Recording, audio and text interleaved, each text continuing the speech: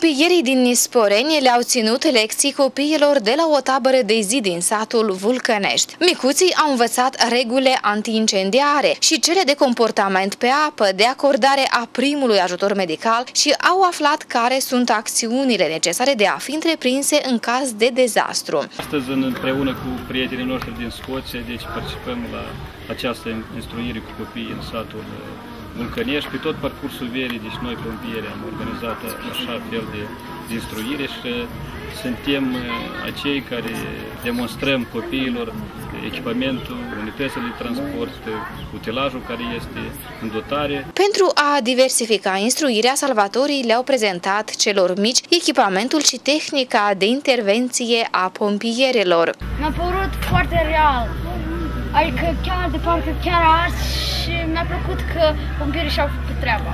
Salvatorii au abordat subiectul securității în caz de ploi cu descărcări electrice și inundații. Totodată copiilor li s-a comunicat despre normele securității la scăldat pentru a preveni cazurile de înnec. Suntem în Vulcănești, astăzi am avut o singură zi de tabără copiii în care au fost invitați și pompierii pentru ca să prezinte echipamentul care sunt, să vadă și copiii din Vulcănești ceea ce se ocupă pompierii din orașul Ispăreni. Copiii au luat cunoștință de câteva lucruri interesante.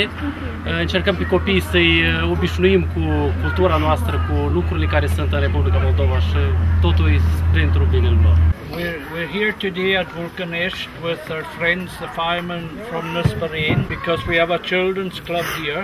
And part of the children's club is to have basic education. So our friends, the firemen, have come to show them how important the fire service is, how they contact the fire, and the aspect of the fire service in Moldova. Pompierii vor efectua acțiuni similare pe tot parcursul sezonului estival, scopul fiind evitarea și prevenirea situațiilor excepționale care ar putea pune în pericol viețile copiilor.